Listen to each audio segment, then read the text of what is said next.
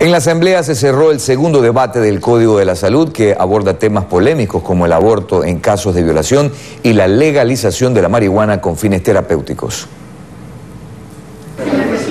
La Asamblea Nacional busca que en el país los médicos tengan la obligación de atender a mujeres que producto de accidentes lleguen a una clínica o a un hospital con un diagnóstico de aborto. La legisladora Vilma Andrade entrega más detalles.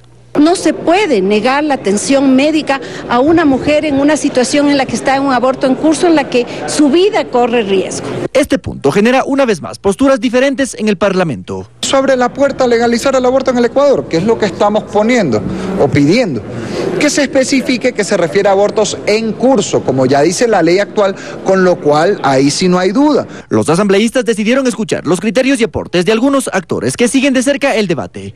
Por ejemplo, Salomón Proaño, presidente de los profesionales de la salud.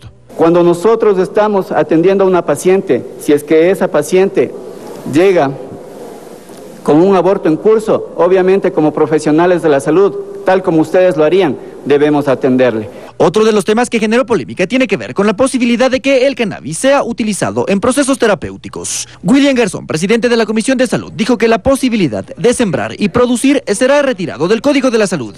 Vamos a tener que retirar el tema de la siembra. No hay eh, que inventar el agua tibia. Muchos de los países de la región ya tienen una normativa acoplada para el cannabis de uso médico y terapéutico. Las personas con enfermedades raras también llegaron a la Asamblea y regalaron rosas a los legisladores. Ellos solicitaron que se incorpore que se actualice el cuadro básico de salud, incorporando medicamentos que debemos utilizar los pacientes en nuestra condición. También pidieron que se actualice el listado de enfermedades raras. Dicen que en el mundo ya se contabilizan más de 8.000. Cristian Hidalgo, TC Televisión.